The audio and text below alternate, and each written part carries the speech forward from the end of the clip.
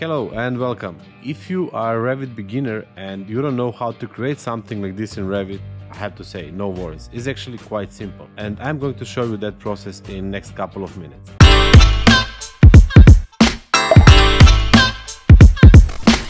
The first thing you have to do is to download the pictures from the website. You can find the link in the video description and then I'm going to show you the way how you can load those pictures into the Revit, how you can scale them and fit them to work well for you and how you can then make a facade. So let's just move to Revit. Okay, so I'm in the Revit right now and the first thing I'm going to do is to decide where I'm going to load these pictures. I'm going to use South View and the East View and then I'm going to open south elevation I will just extend this a bit we'll go to insert and then we'll go to link image. Okay and I'm going to use this bottom facade. So I will select the picture I will go to move and we'll take this level and we'll attach it here and go to scale. And from here to here to be let's say 4 meters. I cannot see the numbers correctly so I'm just taking this approximately I will move this a bit to the left. Something like this. We'll go to our plan view and we'll just create the wall. Okay and from this south view I'm just going to move that wall to the ends of our picture. And we'll create one more level.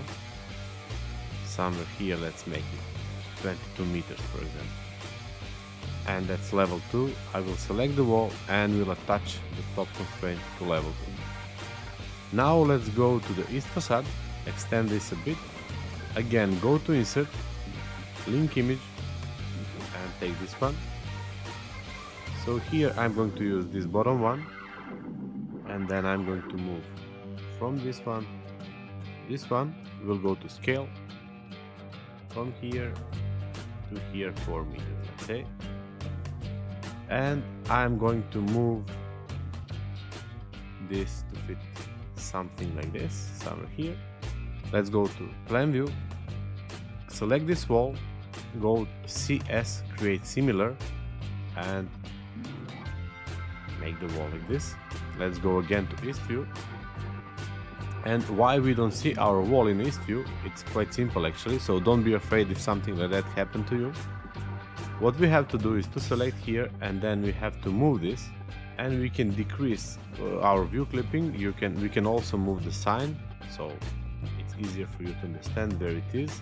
And now if we go to East View, I can see our wall and this fits okay, then I will just move it here and this seems fine. To make a 3D in Revit, you just need to go to this small house over here, just click that view and it's going to create a 3D view. If you take a look at the picture, we see that we have a double wall, so what I'm going to create right now, I'm just going to create this, let's say, white wall. So right now I'm just using generic wall because I'm just going to show you the method how you're going to make it. So let's just take this wall, create similar CS, go to edit type, duplicate and make one of 50 millimeters and then for the offset let's make 600 because we have some kind of offset between those two walls.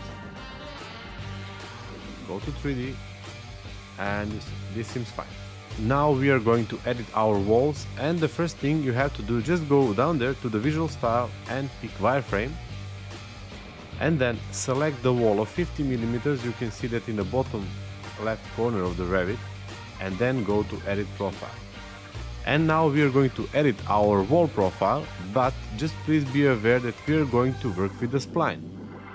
If you use the spline and make it like this and if you would like to trim spline with the ordinary line you will see that it's not possible. If I take any other line like if I take this one and if I go to trim you will see that this is possible to do. So what you have to be aware is when you take a spline tool you start from the intersection or you have to see any sign in this case is going to be the nearest snap point. So whenever you start just have some kind of the snap point from the vertical lines in this case. And the same is going to be when you are finishing them. So you cannot finish just like that. You would like to finish it at the vertical line and the vertical line became blue as you could see here and then just click and that's it. Then because we cannot trim them you have to go split element and then select this line and drag it to the end here. And again let's take this one over there. You start from the nearest.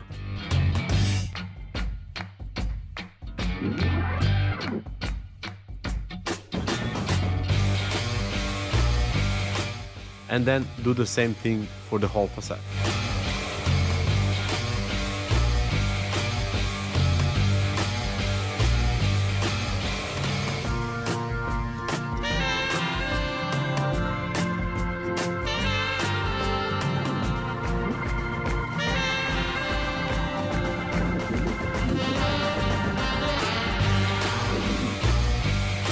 And I'm done with the south facade. What I have to do right now is just to click this yes button. Okay, we have a problem. So some lines intersect each other. Let me just see where. Okay, aha, it's over here. All the lines must be closed loops. I'm just going to move this to the hidden line so I see better.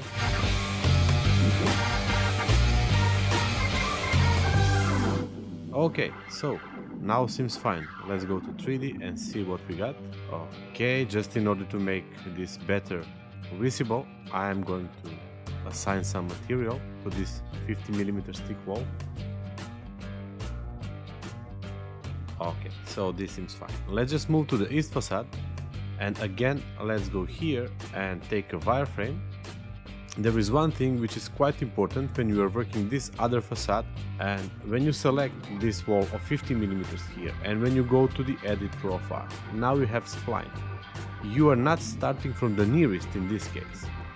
On this east facade. You would like to start on the intersection here and then you create your shape. And the same thing is when you're ending. You would like to end at the intersection. Here let me see just to know that you can in 3D as well do the slice thing and then you can move this. If you would like to be sure that it goes directly vertical you can hold shift all the way. You can just click the tab and it will select this one and then hold the shift drag to here and just click OK. And this is going to be the process for the other part of facade. So again I will click this one. We'll go to edit profile and when I start just be sure that you pick the intersection and then you start creating your profile.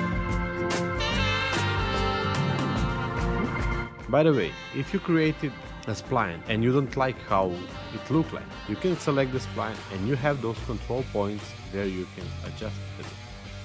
Now I'm just going to speed up this process and please enjoy the music.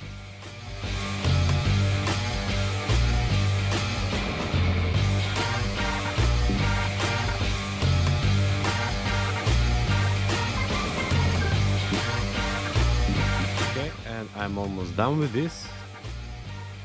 So, here it comes. Okay, it's a little bit of mistake here. I made it. So if you if something like this happened to you, just go to edit profile and from 3D you can drag this point here. Then you can adjust your curve also from 3D and you, you can make it as you would like to. I can again select this line, will hold shift and drag here, just click OK and basically, that was it. Thank you very much for watching this video. If you have any questions, feel free to write in the comments.